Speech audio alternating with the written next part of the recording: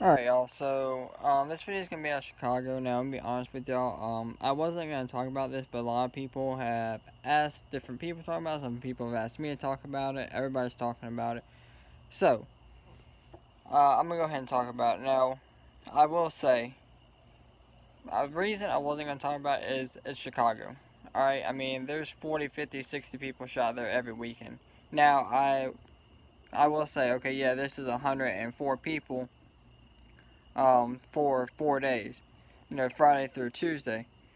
So, um, I will say I'm just going to go through the basics and I'm put my uh, opinion at the end of this. Alright, now, um, like I said, 104 people were shot, including two police officers and at least two 10 juveniles. 18 of those people died. Uh, one of the 10 juveniles who were wounded by gunfire, two little girls as ages 5 and 6 were shot in separate incidents. Um, Police Chicago data indicate the recorded shootings began about 5 p.m. on Friday and continued through 1 a.m. Tuesday. Now, again, um, 87 people were shot, 17 were killed. Now, they said the last time that that many people were shot over the 4th of July week in Chicago was in 2017. And in 2017, 103 people were shot Friday evening and the Wednesday morning after the holiday weekend. So obviously that was a little bit longer. Now, Chicago Police has staffed up ahead of the Blaze weekend so far this summer. Chicago Police Superintendent David Brown had noted that days off were canceled and all 12,000 members of the police force will be working in 12-hour shifts throughout Independence Day weekend.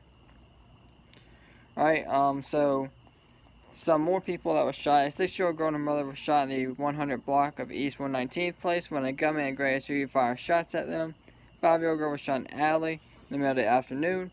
Several boys and girls in the 11 to 13 age group were also wounded. Um, again, like I said, two police officers were shot when they were trying to break up a crowd.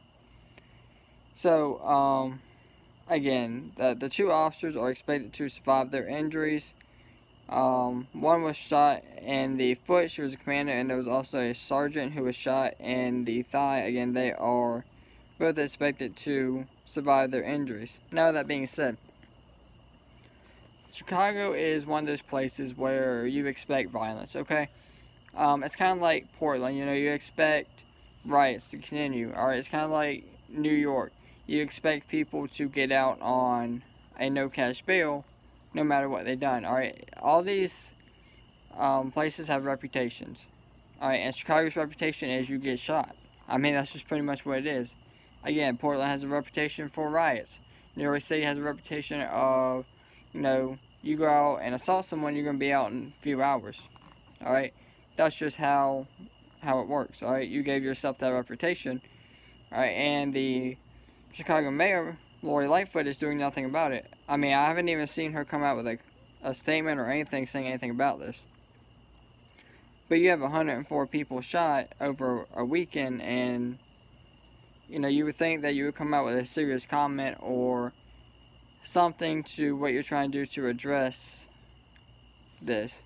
Not gun violence. Like, you know, I honestly think people trying to hear about gun violence, you know, systematic racism. That's not the problem, obviously, okay?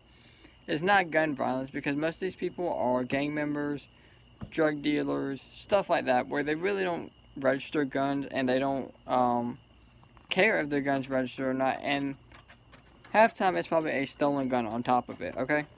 So, you know, that's not the issue. And it's not systematic racism because, you know, if it was, if it was a white person shot a black person, it'd be all over the news that, oh my god, look at Chicago. Don't worry about the 70 other people that were shot and the other 40 people that were killed. We can't talk about that, but there's one white person here shot that black person. Let's, let's cover that. Alright?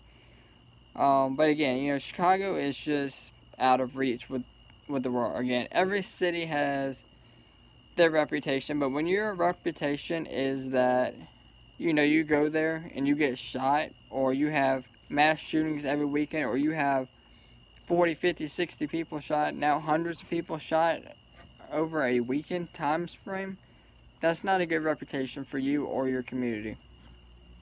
Alright? And all these police officers are not going to continue to stay there, alright?